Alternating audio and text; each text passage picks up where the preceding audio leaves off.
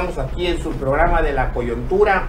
Hoy vamos a tratar un tema sobre las candidaturas independientes y qué mejor que con gentes que han venido destacándose y hablando de estos temas que implica exactamente el tratar de llevar adelante proyectos de candidatura ciudadana, proyectos de cómo debe de llevarse adelante estos, estos temas.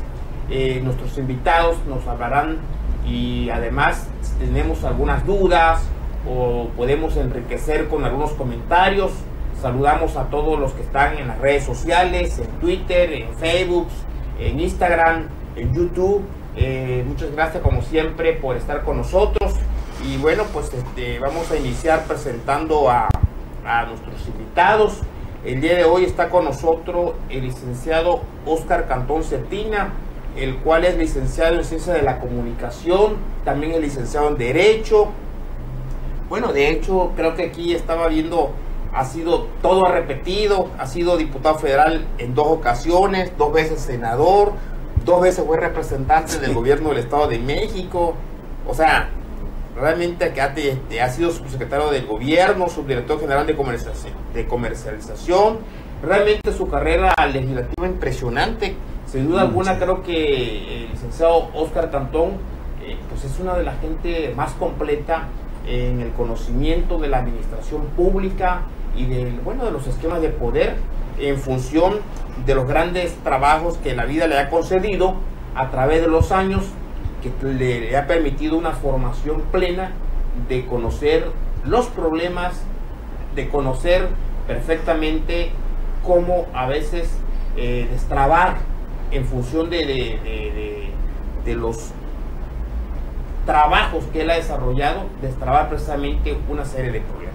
Pues me da mucho gusto que esté con nosotros el licenciado Oscar Cantón Cetina. Muchas gracias, me da mucho gusto y gracias por la invitación, Garico, y estar aquí en la coyuntura. Para mí es muy importante y tener esta interacción con todos los, eh, eh, eh, todas las personas que nos ven, iba yo a decir, en Tabasco, pero no, hombre, si esto va para todo el mundo, hombre. Me da mucho gusto, de verdad. Muchas gracias. También tenemos con nosotros al licenciado Fermín Contreras Sánchez, gracias, el cual es eh, egresado en Derecho de la UCAR, está dedicado como abogado litigante, tiene maestría en Derecho Judicial, el cual este, eh, además estuvo en la Universidad de Alicante en España, eh, tiene un doctorado en Derecho, es socio administrativo de un corporativo empresarial, eh, fue dirigente de, estatal de los candidatos ciudadanos del 2014 al 2016. Eh, actualmente preside la Asociación Civil Candidatos Independientes Unidos por México. Igual, bienvenido, maestro licenciado Fermín Contreras. Gracias, Uldarico. Pues también aquí estamos. Vamos a aportar algo a los aspirantes que pretenden eh, aspirar en esta elección 2017-2018. Muchas gracias. Igual está con nosotros en este panel el ingeniero Limber Peláez Zurita. Él es eh, increíblemente, pero él no trae a lo mejor la formación social, aquí estaba viendo, pero bueno, eso habla de la candidatura independiente. Él es ingeniero electrónico industrial, con maestría en electrónica, tiene un posgrado en administración, un posgrado en sistema de potencia, ha fundado dos empresas en Tabasco, constructora Limpers y Consorcio de Construcciones de Tabasco. Ha trabajado durante muchos años en Pemex, en varias áreas, cómputo administrativo. Eh, eh, además está estudiando, bueno, ya le gustó la política, está estudiando ciencias políticas ahora, ¿no? Y actualmente es el dirigente estatal de los candidatos ciudadanos de aquí de, de, la entidad. Pues me da gusto que esté con nosotros, ingeniero Limber Peláez Zurita. Gracias, Suldárico, por la oportunidad que me das de estar en este prestigiado programa La Coyuntura. Buenas noches, estimada audiencia, por permitirme estar en sus hogares. Muchas gracias. Pues vamos a iniciar eh, en esta plática, desde luego a todos los que están eh, en este momento con nosotros viéndonos a través de las redes sociales, siempre la invitación para que nos den sus comentarios y desde luego nos permiten enriquecer este programa siempre con sus comentarios propositivos y como siempre lo hemos establecido, la idea final es que quienes todos aquellos que han venido a esta mesa, a estos paneles, de los diferentes partidos, de los diferentes puntos de vista, intelectuales, gente sin partido. La idea es que, bueno, vayamos construyendo una sociedad mucho más respetuosa, una sociedad en la que todos tenemos que convivir de manera plural y sobre todo, bueno, a ustedes eh, les va a tocar rumbo a, cuando se den las elecciones, en este caso si nos vamos al 2018, bueno, pues en función de lo que ustedes van escuchando, van este, teniendo conocimiento de los temas, ustedes van realmente viendo qué es lo que les conviene y qué es lo que ustedes desean o si se complementa esas aspiraciones que ustedes traen con los ponentes, pero bueno, la elección finalmente la tenemos que construir entre todos y cuando lleguen los que les toca la oportunidad, pues abonar para construir una mejor sociedad. La idea es, desde luego, exigir que los gobiernos cumplan, pero también la idea es que construyamos, también apoyemos para que eh, todos vivamos de la mejor manera. Vamos a iniciar aquí con, eh, con nuestro amigo el licenciado Oscar Cantón Cetina para que este, iniciando aquí nos pueda comentar pues ya una gente que conoce plenamente la actividad política, la ha repetido en eh, muchos cargos, eh, pues usted como una visión ya ciudadana, alejado un poco ya de los partidos políticos, bueno, ¿por qué tomó la decisión de, de, abandonar un poco las condiciones partidistas y iniciar una trayectoria un poco más ciudadana? ¿En función de qué? ¿O, es, un, es un nuevo modelo? o lo que usted ha escuchado, ha trabajado, ha sentido? ¿Cuál es el, propósito de meterse en esta nueva dinámica? Bueno, mira, Euladico, yo creo que es muy importante tu pregunta, porque lo que ahora tenemos que entender es que la ciudadanía está cada día más alejada de los partidos políticos. ¿Y por qué? Porque le está pagando con la misma moneda a los propios partidos políticos. Los intereses de la gente, lo que son las demandas sociales cada día se ven no reflejadas, no se ven reflejadas en lo que es la práctica diaria de los políticos a través de los partidos políticos. Entonces, eh, antes no había candidaturas independientes. Antes, si querías estar en la política, tenías que estar en un partido político. no había otra, a fuerza. Era un monopolio del poder político y que la ciudadanía no tenía opción de una candidatura independiente, como ahora ya lo permite la ley.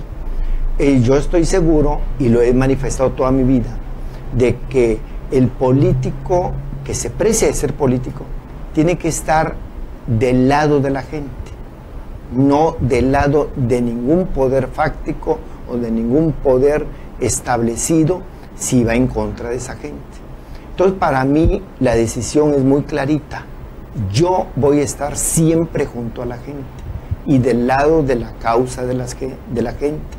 Entonces, ahora, si los partidos políticos tienen un rechazo de 80% y no hay una ley, no hay un acto de gobierno que esté significando esa plenitud del ciudadano, yo estoy seguro que tenemos que buscar nuevas opciones. Y, y termino esta intervención nada más diciendo, en Tabasco tenemos municipios donde ha habido la permanencia de tres partidos políticos. Ahí está Comalcalco, PRI, PRD, Morena, o ahí está Nacajuca, PAN, PRI, PRD, o Balancán, o Teapa, PRI, PRD, Verde. ¿Y qué resulta? Toda la ciudadanía te dice, no hay diferencia de uno a otro pero ¿qué vamos a hacer? Y la gran pregunta es, o es la opción independiente o es la opción del no voto. Y lo que menos debemos de hacer es promover el no voto. Tenemos que promover un voto informado, un voto consciente, un voto solidario, un voto comunitario, y es lo que es, se está prestando una candidatura independiente. Muy bien, muchas gracias. Pues, estimado Fermín, ya creo que ya arrancaron, ya arrancó la campaña este domingo pasado. Eh, ya están inclusive en el caso local, ya el, caso federal empezó el mes anterior. De hecho, quiero comentarles que eh, tenemos ya casi este, en puerta nueve candidatos que ya se pronunciaron eh, para la presidencia de la República en lo federal, hay otros que para senadurías, para diputaciones. De hecho, ya el sábado y el lunes se cierran las inscripciones para el caso de, los candidatos para, para, presidente de la República y para el caso de los senadores y diputados federales. Eh, ya hay una, la carta de intención que se los solicita, pues ya también en los federales están, este, ahí. o sea, esta semana se definen quienes tienen interés de ser candidatos ciudadanos por parte de los órganos electorales, ya está toda la infraestructura y esperamos nada más que la otra semana ya sepamos la opción de quienes ven en los candidatos independientes una alternativa a sus intereses. Aquí en Tabasco, Fermín, eh, ¿cómo están los plazos? Ya, ya, ya, ¿Cómo está todo eso? ¿Cuándo eh, empieza? ¿Cómo eh, arranca? Ya tuvimos contacto con algunos aspirantes a, senadores de la República, también a diputado federal. hoy ya tenemos dos acta constitutiva de dos aspirantes a senador de la República. Es el ciudadano José Francisco Magaña Tejeda y Mario Vicente Patraca Pascual. Ya eh, mañana posiblemente ya eh, vamos a presentar la carta de intención ante el Instituto Nacional Electoral eh, con, lógicamente, el acta constitutiva, la cuenta bancaria y también el registro federal de contribuyente de Hacienda. Esos son los dos que teníamos. Eh, teníamos también aspirante a, senador, este, a diputado federal, pero eh, pues no, no, no, no, no se atrevieron, tienen temor. Eh, lo que pasa es que sabemos que todavía estamos acostumbrados a los partidos políticos, todavía no, no, perdemos esa costumbre que, que, nos arraigaron de muchos años, vivir o, depender de un partido político. Yo creo que a partir del 2018 va a haber mucha sorpresa, la gente va a votar por la persona. Ya los partidos políticos tienen que desaparecer y mucho, mucho, mucho de eso va a pasar en el 2018. Va a haber mucha sorpresa ciudadana, va a haber, eh, creo aquí, y lo digo con toda este, certeza, eh, también presidente municipal y diputado local y un futuro gobernador que tengo a mi lado y que creo que considero yo que va a ser nuestro gobernador ciudadano. Eh, por esa razón es que yo hoy me sumo a este proyecto ciudadano con toda tranquilidad. Cuando iniciamos en el 2014, iniciamos un proyecto así, totalmente así dudoso, eh, muerto, lo dijeron la prensa, lo dijeron los partidos políticos, lo dijeron eh, los ciudadanos, los abogados. Un proyecto que nadie creía que, iban a hacer porque hasta los mismos diputados que firmaron esa ley defectuosa, esa ley electoral eh, que crearon, pues lógicamente metieron muchos candados a efecto de que el ciudadano pudiera participar. Pero gracias a nuestro conocimiento, gracias al apoyo de la gente, gracias a muchos amigos, eh, y logramos eh, romper los obstáculos jurídicos y logramos siete candidatos, siete candidatos en el 2015 y por tanto eh, hubieron eh, pues ese, ese paradigma que, no se podía.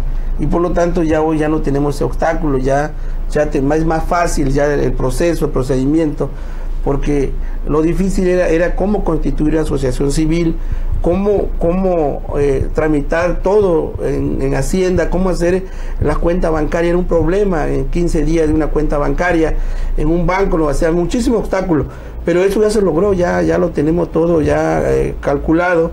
Y por eso ahorita ya no tenemos problema de tiempo. Y por esa razón es que muchos invitamos que en el 2018 tengamos muchos candidatos también así que me he atrevido a ir al Instituto Estatal Electoral. He tratado de, platicar con el secretario eh, general eh, Roberto Félix y desgraciadamente pues no he podido platicar eh, porque dice que está muy ocupado. Él sabe muy bien de mí. Yo fui el primer abogado que me atreví a hacer todo lo legal. Por esa razón es que pido, digo, también lo digo públicamente, porque dice que está muy ocupado y yo le digo no es posible que si yo soy un ciudadano que quiero eh, eh, eh, pedirle, pues suplicarle una entrevista a efecto de, externarle lo que nosotros queremos como abogado y también como ciudadano, de que queremos participar pero como debe ser, así como los partidos políticos que le dan ese derecho, también nosotros como ciudadanos eh, queremos también platicar con él. Ah. Y por esa razón es que hoy estamos aquí. Ah, muchas gracias, Liceo Fermín. Eh, bueno, y también, bueno, ingeniero Limber, usted ya tuvo una experiencia la vez pasada, ¿no? De hecho, ya tuvo este, Macuspana. Eh, participó como candidato independiente a la presidencia, ¿no? Sí, efectivamente, en el proceso del 2015 fui candidato independiente por el municipio de Macuspana. ¿Cómo le fue la su experiencia? Pues la verdad que nos fue muy bien. En el 2015 contendieron 11 candidatos, de las cuales pues estuvimos punteando en los primeros cuatro lugares. Entonces fue una experiencia muy bonita. Sin embargo, pues eh, desgraciadamente todavía hay desventajas para los candidatos independientes. A mí me gustaría decirle a la población qué cosa es un candidato independiente, porque a veces hay ciertas dudas. Un candidato independiente es una persona que se postula a un puesto de elección popular y va sin partido, sin el aval de ningún partido y además lo logra por medio de un proceso cívico, obteniendo el apoyo ciudadano de una manera libre, democrática y transparente. Aquí no hay dedazos. Además, la candidatura es independiente, tenemos que reunir un porcentaje mínimo de apoyo ciudadano. En el caso de Macuspana es el 4% Del padrón, del padrón electoral de la zona, del municipio. Eh, y tenemos que acatarnos a la ley electoral de la zona. Eh, cuando el padrón electoral es menor a 50 mil ciudadanos, el porcentaje del apoyo ciudadano mínimo es el 8%. De menor de 100 mil, pero mayor de 50 mil, el porcentaje es del 6%. Por ejemplo, el porcentaje del 8% tenemos lo que es Tenosique, Zapata, Balancán, Jonuta, entre otros. El porcentaje del 6%, lo que son, están entre 50 mil y 100 mil eh, del padrón electoral, tenemos Paraíso, Centla, eh, eh, Jalapa y otros más. El porcentaje que es mayor de 100 mil y menor de 150 mil es del 4%. Ahí tenemos lo que es Macuspana, Huimanguillo, eh, tenemos Comalcalco, Cárdenas, Nacajuca, eh, Nacajuca. Incluso. Ok. el 4%. También tenemos lo que es arriba de 150 mil del padrón electoral.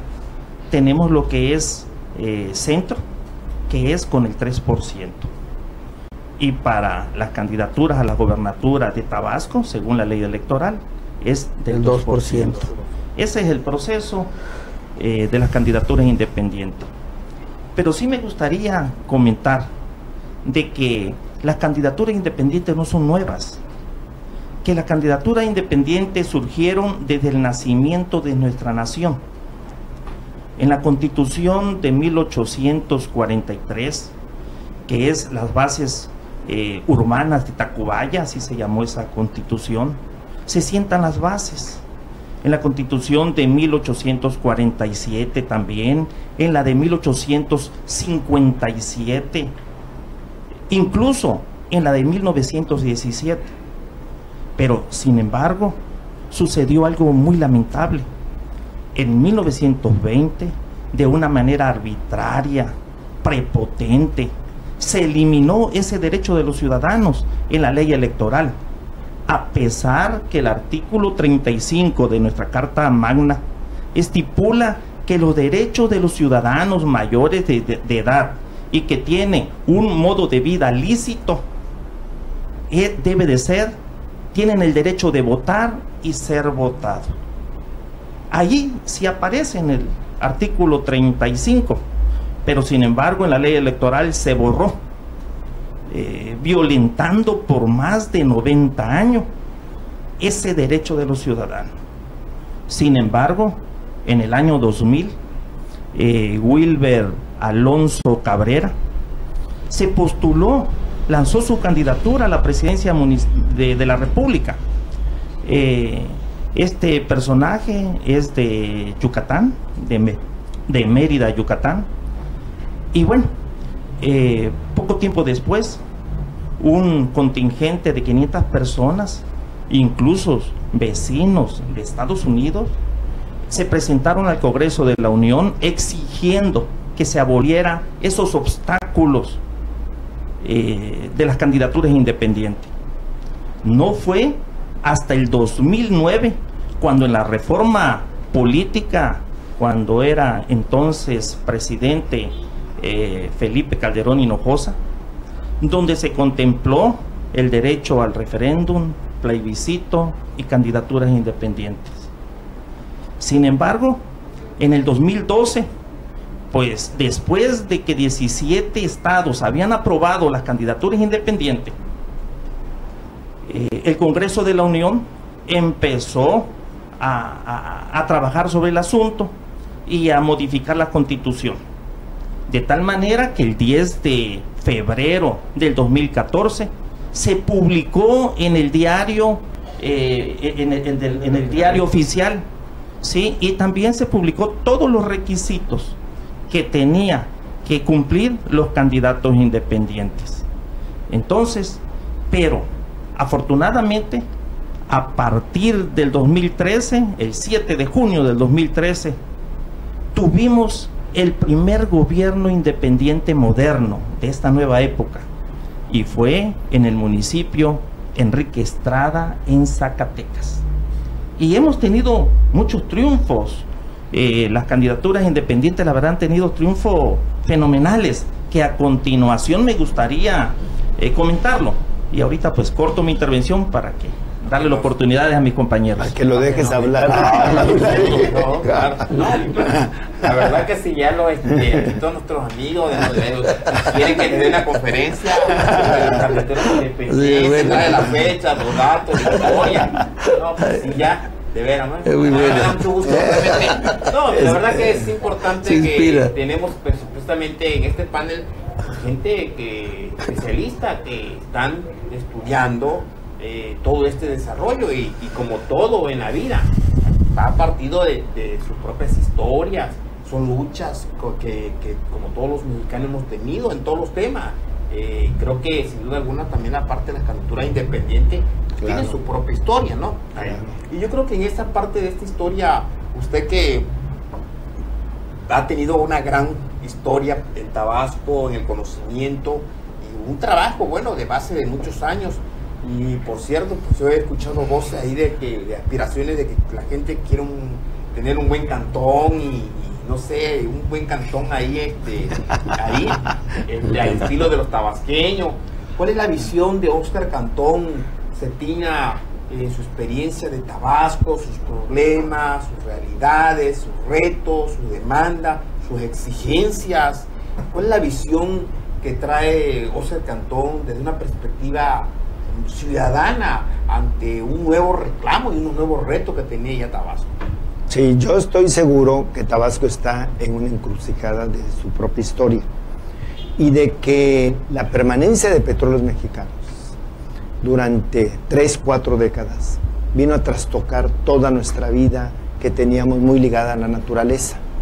Y a la naturaleza me refiero al tabasqueño, que era un tabasqueño muy metido en su propia cultura, muy aislado del resto del macizo nacional y que tenía una economía de subsistencia, de autonomía y que verdaderamente tenía su propio modo de convivencia y que era una convivencia pacífica, armónica.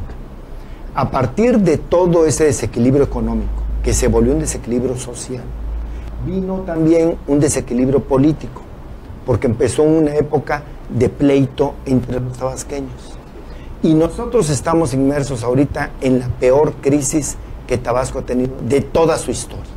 Porque es crisis de seguridad, es crisis de confianza, es crisis económica, es crisis de identidad, es crisis de que los jóvenes están pensando que es mejor irse a otro lado porque Tabasco no es tierra de futuro o de bienestar. Entonces nosotros tenemos que tener una nueva visión de cómo enfrentar este desafío. Nosotros tenemos que anteponer, por supuesto, el tabasqueñismo. Y me refiero a un tabasqueñismo, eh, no, no el un tabasqueñismo que esté agarrado de la globalización, pero con unas raíces muy profundas en lo que es la cultura tabasqueña, lo que es sus reservas naturales, sus vocaciones naturales. Tabasco tiene que volver a su desarrollo, que es la ganadería, la agricultura, la pesca, lo que es lo forestal y lo que es lo turístico. La parte platanera. Para, para que con esas fortalezas, que esas son para toda la vida, podamos convivir y meter en orden a la industria energética. Porque ahora no es con petróleos mexicanos con quien va a tratar el tabasqueño. Está tratando ya, a partir de la reforma energética, con empresas extranjeras y con gobiernos extranjeros. Y hay que recordar por qué se da la expropiación petrolera de 1938. Por lo tanto, yo insisto que el tabasqueño tiene que poner como condición primaria la reconciliación y la unidad. Tú hablabas al, inicio y, tenemos que ponerlo en un plan de civilidad. Tabasco no puede seguir siendo el salvaje de la política o el salvaje de la convivencia. Tenemos que aprender a que tenemos visiones diferentes, pero que tenemos objetivos comunes. La seguridad pública no depende de los partidos, hombre, ni depende de los colores en con los que tú vayas a votar. Depende de un plan de gobierno, depende de una gobernanza que esté acreditada con la legitimidad y que sea utilizado ese, ese, eso que la ley contempla como una potestad de fuerza pública para beneficio de la gente hay temas que nos tienen que unir para salir adelante. Ese es el mayor reto y desafío que tiene Tabasco y por eso creo que una candidatura independiente puede ser el elemento detonador de esa reconciliación en Tabasco, porque la confrontación entre los partidos ya lleva más de 30 años y sigue ahondándose. Ah, sí, desde luego, creo que el gran problema que tiene eh, la entidad en el caso de Tabasco, desde luego también no está exento el propio país, eh, por ello, eh, sin embargo, están haciendo un esfuerzo de reconciliaciones sorprendentes, donde ves que la izquierda y la derecha se juntan y son ejercicios finalmente que, que a lo mejor no estemos de acuerdo, si estemos de acuerdo o finalmente sean los intereses los que prevalezcan.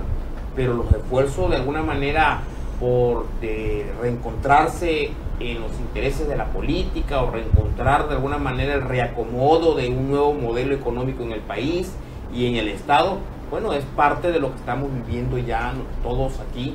Y sin embargo, creo que Tabasco eh, no merece, creo que no, no se lo merece, eh, que persista y que estemos viendo que lo que más se vende, que lo que más le gusta a la gente es el morbo de quién le pega a quién y cómo realmente unos a otros estamos eh, agrediéndonos.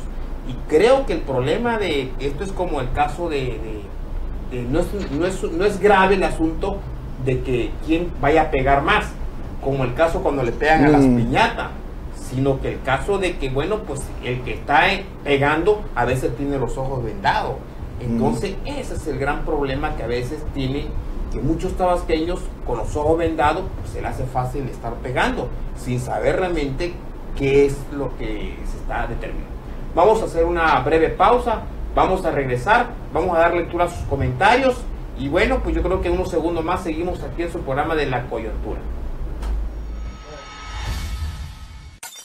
Esta semana en Revista Grilla, por inseguridad y violencia, blindajes a la alza el temor a perder la vida a manos de la delincuencia acecha ya a Tabasco. Los ciudadanos con elevado poder adquisitivo invierten en el resguardo de su seguridad y de su familia. Chalecos antibalas y escoltas ya no son suficientes.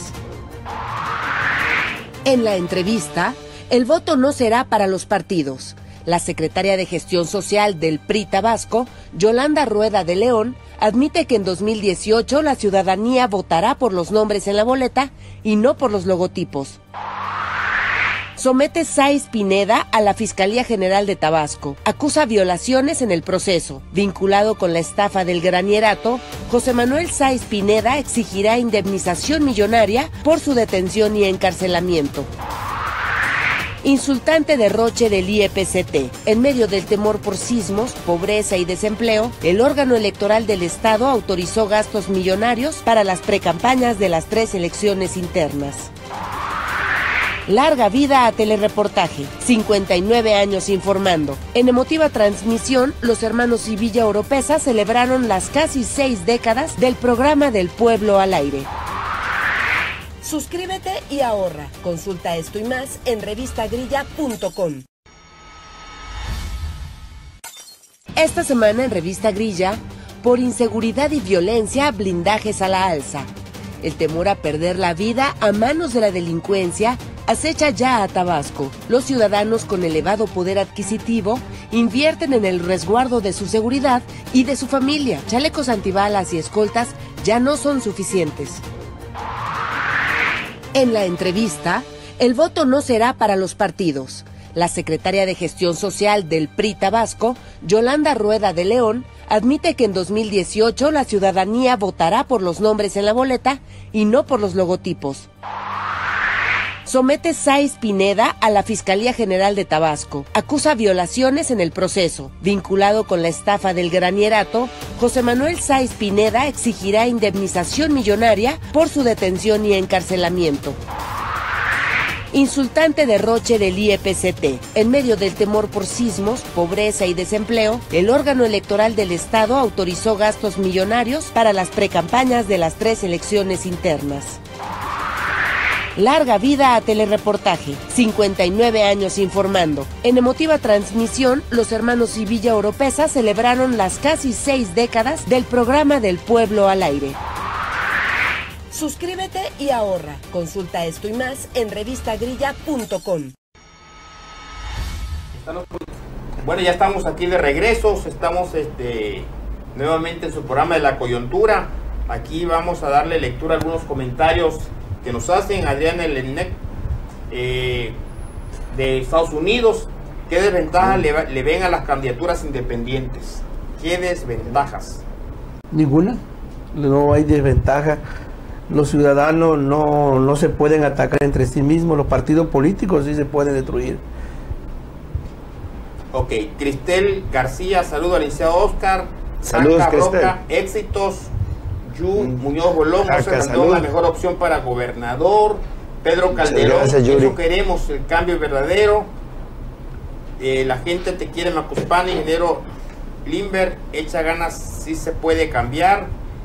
Michelle Hernández Jesús, Cantón, gobernador independiente 2018. Gaby la mejor opción para gobernador es a Oscar Cantón 2018. Gaby, gracias. Eh, este, Ali Acosta, saludo Liceo Fermín Contreras, excelente ser humano, un abrazo. Gracias. Diógenes Hernández, saludo amigo Oscar Cantón Cetina. Saludos Diógenes. Javier Dorantes, una felicitación a los panelistas, excelente todas las intervenciones. Vamos independientes en el 2018. Gary, saludos Fermín Contreras. Juan de la Cruz, saludos a menos al independiente de Oscar Cantón con militancia priista y actualmente perredista, a lo mejor hasta eh, se inmaculó a ti un largo amigo. Bueno, Juan de, los, este, Juan de, los, Santos, eh, Josué Rasgado, el Oscar Cantón es una, es una persona preparada en todos los aspectos, humilde y trabajador, conocedor de lo que necesita Tabasco, Josué Rasgado. Gracias, Josué. Y desde luego las felicitaciones, saludos de las otras este, de gente, Lulú Gil Quintana. Tabasco está listo para una candidatura independiente y muchas gracias. Ese es el punto, que Tabasco sí está preparado para una candidatura independiente. Sí está. Por supuesto que sí. La ciudadanía le lleva ventaja a todo el sistema de ¿Ha habido respuesta? ¿Lo ha Absoluto. sentido? Claro que sí, claro que sí. Y ya lo ha demostrado además en otras partes del país. Pero lo ha demostrado aquí también, en Tabasco. Ya Fermín narraba que en el 2015 hubo siete candidatos independientes. Aquí está Limber, que fue uno de ellos, en Macuspana, y que sacó miles de votos, él solo, sin el dinero de los partidos, sin lo que es radio y televisión pagada por el gobierno, con una eh, profundo desconocimiento de las candidaturas independientes por parte de la ciudadanía. Entonces yo no tengo duda que es el momento, que es el sí. momento ¿Cómo- de cómo- que cómo? la Ajá. ciudadanía lo vea diferente. ¿Y cómo va a estarlo, por ejemplo, en el caso de los independientes para gobernador? Tengo entendido que es el 1% de, del padrón electoral. ¿o El del 2%. El 2% que tienen que tener. ¿Cómo es el proceso? Se dice que nada más va a haber uno. Se puede, pueden inscribir todos, ¿no? No. No. Van a participar, pueden participar cuatro o cinco aspirantes y va a quedar uno. Eh, se va, va a quedar que tenga mayor respaldo ciudadano. Aquí- Respaldo ciudadano, respaldo perdón, o sea, es el ciudadano, número de firmas El número de firmas. Sí, de hecho, este, de todos los ciudadanos, por ejemplo, hay una etapa que viene siendo en diciembre. Sí. Arrancamos en, creo que el 2 de diciembre. El día primero sale la convocatoria. Este, a partir de ahí nos van a dar 25 días para que podamos hacer la asociación civil. Y a partir de que se crea la asociación civil, lógicamente, esa asociación civil tiene que estar inscrita en el registro público, dada de alta en, en- en Hacienda y con una cuenta bancaria.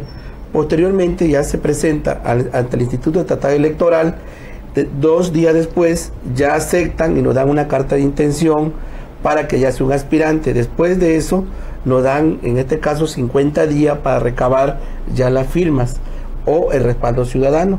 En este caso tenemos que visitar todos los municipios. Pero la gente puede para- ir a, a dar el respaldo. Claro, puede ir a un cierto domicilio o en su defecto nosotros vamos a ir al municipio. Por eso necesitamos que eh, vamos a buscar aspirantes en todos los municipios para que ellos por su conducto también recaben firmas, tanto para los diputados local, diputado federal, senador de la república, tanto también como para, senador, para gobernador. O sea, vamos a tratar de hacer un solo trabajo. ¿Por qué? Porque todos esos respaldos ayudan tanto para el presidente municipal, para diputado local, diputado federal, etcétera, etcétera. Aunque un ámbito es el ámbito federal y el ámbito local. Sí, Sí, de hecho, este, eh, le comentamos a todos los que están detrás eh, en las redes sociales de que es un proceso. De hecho, eh, para ser candidato a, a ello, hay una serie de requisitos que se le pide también a los ciudadanos que deseen facilitar. Este, en este caso, su intencionalidad de ser los candidatos ciudadanos. Por eso se le llama una carta de intención, firman, se les investiga igual, de Claro. que tengan ciertos requisitos en el de prueba y que además eh, también eh, ustedes mismos vamos a tener la, po- la posibilidad, no tan solo con los independientes, sino con todas las gente que sean candidatos, finalmente se van a exhibir quiénes son todos los candidatos de todos los partidos. Y los ciudadanos podemos incluso, si existen elementos, eh, eh, de hecho, si fuera un delincuente o, o algo, pues, bueno, pues habrá también tiempo para que eh, se pueda llevar adelante los argumentos. Y el caso de los ciudadanos para ser candidato a gobernador, bueno, pues se van a abrir el, el compás como si fuera una pre-campaña para que ellos rápidamente recaben un determinado número de firmas mínimo que se les solicita Sí. y el desde 2%. luego el 2% y los que cumplan, de los que cumplan, los que tengan más este, adeptos o más firmas o más respaldos, pues en este caso tendrán la posibilidad de ser los abanderados para poder llevar adelante. ¿Es así? Sí, así es. A mí sí me, eh, me gustaría atreverme a comentar cuáles son las ventajas y las desventajas de las candidaturas independientes. Eh, las desventajas serían que nuestro eh, financiamiento sí, que tienen las candidaturas independientes y el apoyo propagandístico es nulo comparado con los partidos. Sí. Otra desventaja que se tiene es de que la base de votantes habituales no la tenemos como la tienen los partidos. Pero también tenemos ventajas y ventajas muy importantes. ¿Cuáles son las ventajas? Las ventajas es eh, de que podemos tomar decisiones con mayor facilidad, con mayor libertad. Otra de las ventajas es que podemos hacer alianza con otros para formar gobierno. Incluso estar en una posición privilegiada para hacer el peso para formar mayoría en el Parlamento. O sea, tenemos muchas ventajas, además, y eso lo comprueba y lo demuestra que no estamos solos, que a nivel internacional como nacional eh, hemos tenido muchísimos triunfos en Argentina, Chile, Canadá, incluso en Estados Unidos. Ross Perot en, el, en 1992 participó como candidato independiente. En 1996 incluso participó nuevamente y obtuvo el 18% de, de, la preferencia electoral en Estados Unidos. Eh, también se han tenido muchos triunfos en Australia, en España. Últimamente el más sonado es Emmanuel Macron. En Francia se ganó la presidencia. Y en México no es la excepción. En México, como lo comenté anteriormente, eh, el señor Raúl, diputado, incluso, efectivamente, incluso presidentes municipales, senador no, es que no ha habido no ha habido todavía elección para senador con la vía independiente. Pero me gustaría comentar que hemos tenido tiro de precisión, la verdad. Imagínense, como lo comentaste, eh, Uldarico, eh, tuvimos el triunfo de, Nuevo León, un triunfo importantísimo.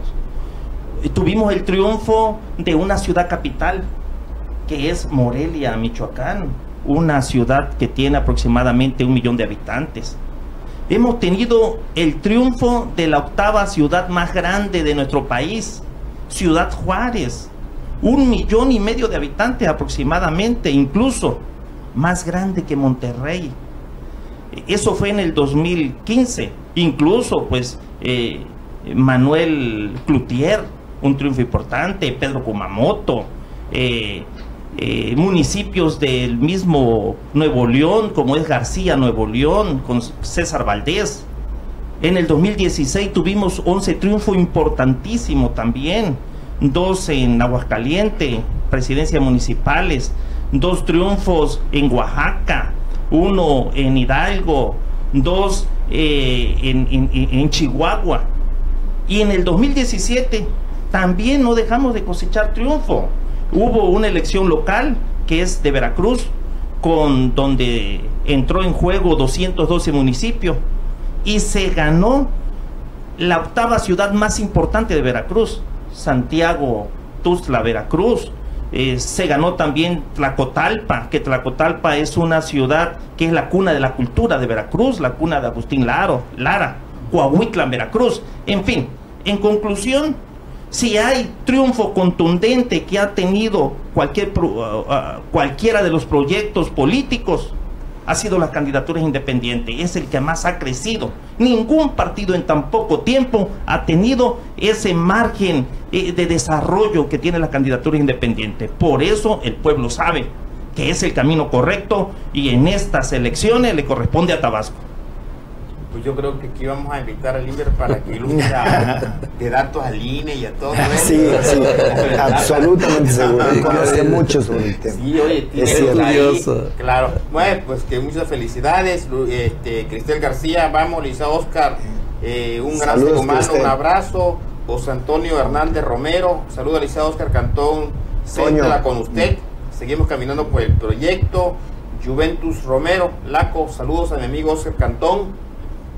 Este, muchos saludos. Graciela Cetina, vamos Oscar, ah, estaba listo para un candidatura independiente si se puede. de Balancán. Vicky Ravelo, suerte, Melissa Oscar, eh, Alberto Madrazo, ya es tiempo de que Tabasco sea el cantón de todo. Y, que Nacajuca también tenga, la verdad, Fermín, que Nacajuca con Alberto. Aguirre, Sarta Liceo Cantón. Eh. Raúl Ruiz Martínez, tú serás nuestro próximo gobernador, ánimo y adelante. Y Raúl, pues, muchos saludos, un abrazo. Nada más estamos aquí, si nos vamos a los grupos y todo. La verdad necesitaríamos un programa especial para poder eh, platicar y desarrollar todas las preguntas y los reconocimientos que hacen. Pues Lisa Oscar, eh, hablando de, también de las cuestiones independientes, de esa participación ciudadana, le acaba de tocar recientemente eh, vivir una situación pues muy lamentable, muy difícil en la Ciudad de México, ¿no? Sí. Eh, ahí contribuyendo con, pues, con, esa situación que pues, no quisiéramos y que bueno, hay también hay una experiencia, ¿no? De participación ciudadana. Sí. Yo, yo estoy seguro que, eh, decía yo, que México ha tenido dos momentos en la historia contemporánea que ha marcado a la ciudadanía en la Ciudad de México. Pero por supuesto, todo lo que ocurre en el Distrito Federal o en la Ciudad de México repercute a todo el país. El primero fue en 1968, cuando un movimiento estudiantil hizo simbrar a las instituciones nacionales. México ya fue otro a partir del 68. Después fue en 1985, cuando el temblor de la Ciudad de México, hubo más de 10.000 muertos y que verdaderamente fue una catástrofe. Allí nuevamente los jóvenes demostraron de qué están hechos y para qué están hechos. En el 2017, cuando se estaba hablando de una generación perdida de jóvenes que producto de la tecnología y de la globalización estaban actuando con un gran egoísmo, se hablaba de los millennials y se hablaba de otras categorías, se demostró de la noche a la mañana la mayor solidaridad y la mayor capacidad de organización de la juventud mexicana. No importaba el color de la piel, no importaba la religión, no importaba un partido político, no importaba una categoría social, no importaba una condición económica. Toda la ciudad se volcó y debo decir y reconocer que Tabasco, infinidad de jóvenes fueron a ayudar allá brigadistas fueron, que no tenían ni para comer pero fueron a ayudar y estaban sin dormir, estaban sin comer, ayudando y muchos no tenían un solo conocimiento de rescatismo, ¿eh? debo decir, que fueron por la pura voluntad y esa solidaridad. Entonces, para mí, esto va a ser otro país a partir del 2017 por los temblores que simbraron a la Ciudad de México pero que abarcaron a muchos estados de la República también. Tabasco también fue afectado, lo que antes no era afectado por un temblor. Yo estoy seguro que los jóvenes han hecho las grandes, grandes hazañas nacionales, las han hecho. Y en el 2018 le toca el momento electoral. Va a haber seguramente un despertar de la ciudadanía, sobre todo de la juventud. Porque al final de cuentas, las candidaturas independientes salieron ahora en su versión moderna, ya Limber explicaba la historia, a consecuencia de la presión de la propia ciudadanía. Era un monopolio, no se permitía esto de candidaturas independientes. Y con trabas, con desventajas, pero yo coincido con Limber y yo lo sintetizo en una ventaja. ¿Cuál es la mayor ventaja del candidato independiente? Pues que lo respalda la gente. Eso es todo. ¿Y qué más quieres?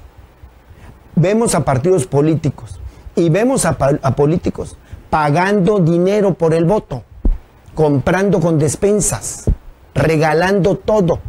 Y ni así quiere la gente votar por esos partidos o por esos candidatos. Y un candidato independiente lo único que tiene es su prestigio moral, su intencionalidad democrática, su propia honestidad.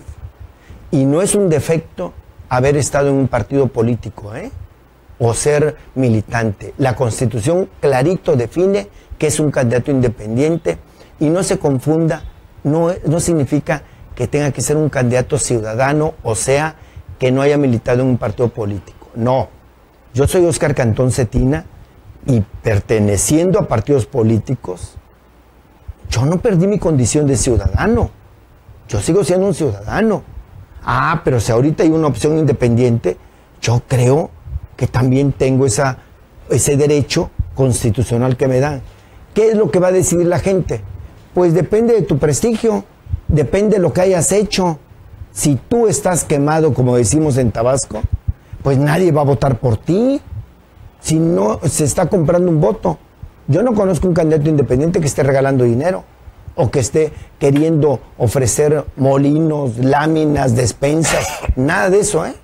Nada de eso. Por eso yo estoy en contra del financiamiento ya a los partidos políticos. No, no es posible que miles de millones de pesos se utilicen precisamente para demoler la democracia. Se ha pervertido a la democracia.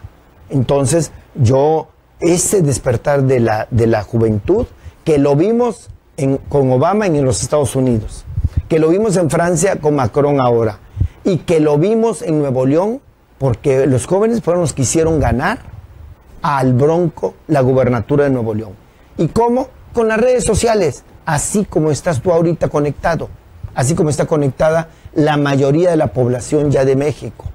Y es un voto absolutamente democrático y es un voto que no se está invirtiendo ni un peso. Sí, pues luego, eso es de, la tecnología. Rosy García, amigo, te estoy viendo siempre pendiente. Saludo, Oscar Cantón. Saludo, Rosy. Carlos Mario Magaña Tejeda. Saludo a todos los aspirantes independientes, en especial Oscar Cantón. Carlos, suerte, mucha eh, suerte. Más saludos. Eh, Marta Osorio Broca. Eh, felicidades, Oscar Cantón. Éxito para usted. Martita, todo mi cariño para ti tu familia. Madrazo, licenciado, mm. usted ha demostrado que siempre está en favor de la gente y no en favor de particulares. Saludos, Alberto. que nos lleve a un desarrollo económico y social. Humberto y Duarte, felicidades, Ularico, por tu programa y saludos a tus invitados de lujo que tienes Saludos desde la Ciudad de México, Humberto y Duarte, muchas gracias. Saludos, Humberto. Y, bueno, Ahí está temblando. Sí, ¿verdad? no se le quita la temblorina a Humberto. sí, ¿verdad? sí, cómo no. Bueno, pues ahí está él, este, pues yo creo que pendiente, ¿no? Muchas gracias por estar también sintonizando ahí este, en las redes sociales. Y bueno, maestro Oscar, un mensaje eh, que, que, podamos darle a los tabasqueños eh, de ahora que, se acerca, pues yo creo que esta lucha natural, bueno, los, las instituciones progresivamente tienen que ir generando cambios, alternativas, opciones. Hay un proceso electoral federal, hay un proceso electoral local y como platicábamos aquí la figura de, de candidaturas independientes, van a hacer los esfuerzos ustedes por lograr que este proyecto cuaje, pero bueno, ¿cuál sería la, el mensaje eh, ante estos retos, dijéramos, electorales venideros para Tabasco que nos avecina? Mira, a mí me da mucho gusto de verdad estar aquí contigo, Darico. Estás haciendo un enorme esfuerzo de comunicación democrática, plural, incluyente, y eso es lo que necesita Tabasco. Tenemos que terminar la época del desprestigio, de la confrontación, del enojo, de la descalificación. Tenemos que volver al Tabasco que construye, al Tabasco que nos identifica y por lo tanto tenemos que volver a creer en Tabasco y tenemos que volver a creer en nosotros. Tenemos que volver a creer en nuestra capacidad de salir adelante ante la adversidad. Las inundaciones nos hacen los mandados porque el agua es una bendición de Dios y es el mejor elemento del desarrollo. Siempre Tabasco había salido adelante. No tiene por qué ahora verse ahogado en el agua, porque no es esa razón de ser del agua. Tabasco tiene que estar unido, pero unido para que verdaderamente podamos significarnos ante un concierto mundial, ante un interés nacional pero tenemos nosotros que entender que partiendo de lo tabasqueño, y lo tabasqueño hay que identificarlo no como esa idea cerrada, aislada, no. Lo tabasqueño parte de que podemos aceptar todo lo universal, pero tenemos la grandiosidad de nuestra cultura olmeca y maya para exponer a toda la gente. Que nosotros tenemos que entender los tabasqueños que tenemos que autocontenernos, autocontrolar nuestro carácter, nuestra pasión tropical. Qué bueno que seamos exuberantes, qué bueno que seamos apasionados, qué bueno que entendamos que la naturaleza humana es parte de esa naturaleza de verdor que tenemos, pero que tenemos que tener disciplina, que tenemos que tener profesionalismo, que tenemos que capacitarnos. Los jóvenes, ¿cómo vamos a entrar a un mundo de competencia si no hablan inglés, por ejemplo? ¿Cómo vamos a entrar a un mundo de competencia si no estudian las carreras que tiene que tener la demanda de las nuevas tecnologías, pero también de las potencialidades como la industria energética? Tienen que estudiar esas carreras y no las clásicas, en las que sobran aspirantes, pero que sobran también los profesionistas frustrados. Tenemos que innovar en Tabasco. Tenemos que creer, insisto, en nosotros mismos y creer que somos capaces de hacer hazañas democráticas, como ha habido en el pasado y como la que puede ser la del 2018. Las candidaturas independientes se trata de votar por la persona más que por los, las siglas, por los colores. Se trata de que votemos por Tabasco, por una reconciliación y por un desarrollo y por un bienestar. Eso es lo que yo diría. Y te agradezco mucho la invitación, Urdarico, aquí en coyuntura y para estar en Global TV Online y también acompañar al maestro Fermín Contreras, que él es el papá de las candidaturas independientes en Tabasco. La historia así lo va a observar siempre. Y también uno de los pioneros con el ingeniero Limber Peláez Zurita, a quien somos amigos, pero también somos compañeros identificados en este ideal democrático. Me da mucho gusto, de verdad. Pues ya lo anoto también para, para el libro que se, de, datos de las candidaturas independientes, ¿no? Aquí muchas gracias, este, socio Quintana, saludos de la estrella de Buenavista, licenciado Oscar Antón, y todos los, apoyamos saludos. en Orlando Pérez Magaña, buenas noches, saludos a todos en el panel, licenciado Oscar Antón tiene experiencia para ser un gran gobernador, eh, Rafael Everardo Orlando. éxito, Javier Durante en el 2018 hará historia al tener el primer gobernador independiente con Oscar Candocetina y con ello impulsaremos el desarrollo de Tabasco, regresando a lo nuestro, al campo de la ganadería, etcétera, etcétera. La verdad, muchas cosas y muchos comentarios. Y yo creo que este, este hay bastante, este, sí, este, aquí a, Brisa López apoya, este, a, confía en Oscar Cantón. A Brisa, que muchos nos saludos. Llevará un Tabasco próspero y seguro. Eh, bueno, las, realmente los comentarios siempre eh, en ello. ¿Algún comentario adicional? Antes de, que nos dé todos los datos. De que nos corran de aquí. Sí, eh, yo lo que me gustaría decirles es invitar a todos los ciudadanos de nuestro país, de nuestro estado y de mi municipio, Macuspana, que analicemos a todos los candidatos, que lo analicemos de una manera constructiva para poder elegir la mejor opción el objetivo de las candidaturas independientes es que si los partidos políticos no postulan a sus mejores hombres, el pueblo, eh, el, pueblo, la ciudadanía puede poner en la boleta a la mejor mujer, al, al mejor hombre, para garantizar nuestro desarrollo. Venimos en caída libre. Por favor, detengamos, es la oportunidad que tenemos en el 2018. Muchas gracias.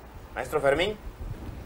Pues yo también veo lo mismo y este, invito a los ciudadanos, eh, yo me pongo a sus órdenes eh, como abogado. Eh, aquí lo legal, pues yo ya, tengo la experiencia y con gusto lo hacemos.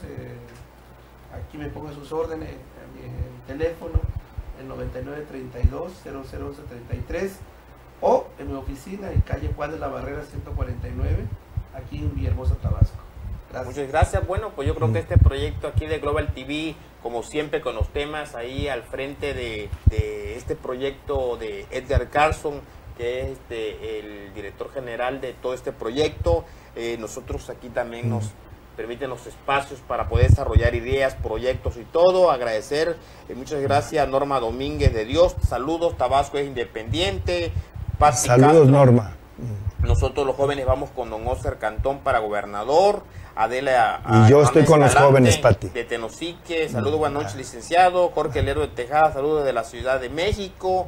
Jorge. Y, bueno, pues siguen los comentarios y creo que también quisiéramos ahí seguir platicando un rato más, pero los tiempos sí es importante. licenciado, pues yo la verdad muy Muchas gracias, agradezco mucho su participación y le deseo el mejor de los éxitos. Ojalá y este en el 2018 pues la vida le depare también los mejores deseos como siempre y los mejores destinos. Muchas gracias. Muchas gracias. Muchas gracias, Suldarico, Ok. por la oportunidad. Maestro. Gracias. Nos vemos hermano.